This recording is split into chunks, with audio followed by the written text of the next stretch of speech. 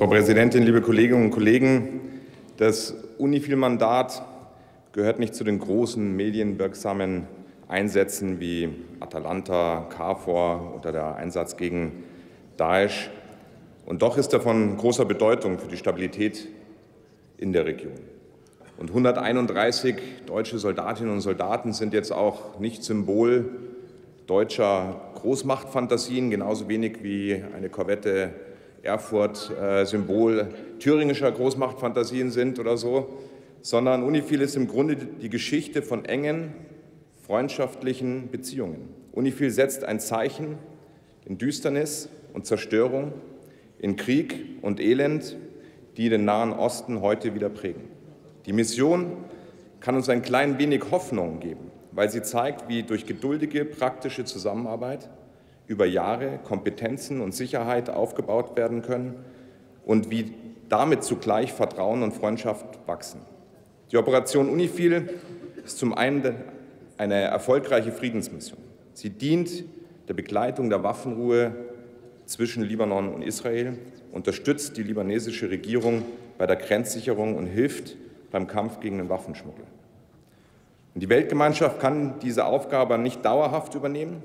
Unser deutscher Beitrag fokussiert daher zu Recht auch auf die Ausbildung. Wir wollen mithelfen, die Fähigkeiten der libanesischen Marine so auszubauen, dass sie künftig in der Lage sein werden, Küste und Territorialgewässer selbstständig zu überwachen. Die libanesische Marine wird zunehmend in die Aufgaben des Internationalen Flottenverbandes integriert und lernt so praktisch die Herausforderungen später selbst zu meistern. Unifil war durchaus erfolgreich, gerade was den Waffenschmuggel angeht. Aber auch Aufbau und Training der libanesischen Marine verlangen aber einen längeren Atem. Wir wollen kein Strohfeuer, sondern nachhaltige Erfolge. Und mit dem künftigen Eigenschutz der libanesischen Küste werden die ausgebildeten Soldaten einen Beitrag zur Stabilität in der Region und damit auch zu ihrer eigenen Sicherheit leisten. Die Unifil-Präsenz ist weiterhin einer der Sicherheits- und Stabilitätsfaktoren, der deeskalierend wirkt. Auch die Streitkräfte sind ein beruhigendes, die Nation insgesamt verkörperndes Element. Sie werden in der Bevölkerung als professionell, integer und überkonfessionell wahrgenommen. Wenn wir ihnen weiter helfen, zur Seite stehen, können sie eine positive Rolle in einem künftigen Libanon spielen.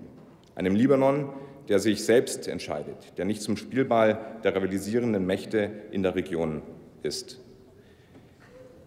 Wie helfen wir darüber hinaus? Die Beteiligung am Flottenverband ist, wie bei praktisch allen unseren Mandaten, nur Teil eines umfassenden Engagements für Libanon und die gesamte Region. Deutschland hilft dem Libanon bei der Verbesserung der Flüchtlingssituation, bei der kommunalen Infrastruktur, beim Hairi-Tribunal und bei der Grenzsicherung. Liebe Kolleginnen und Kollegen, unser deutscher Beitrag im Rahmen von UNIFIL zeichnet sich durch sein einleuchtendes Konzept aus, das unmittelbaren Nutzen bringt.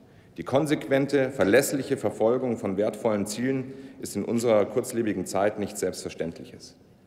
Wir stehen zum Libanon und seinen Streitkräften. Das wissen unsere libanesischen Freunde zu schätzen. Lassen Sie mich abschließend aber auf eines hinweisen.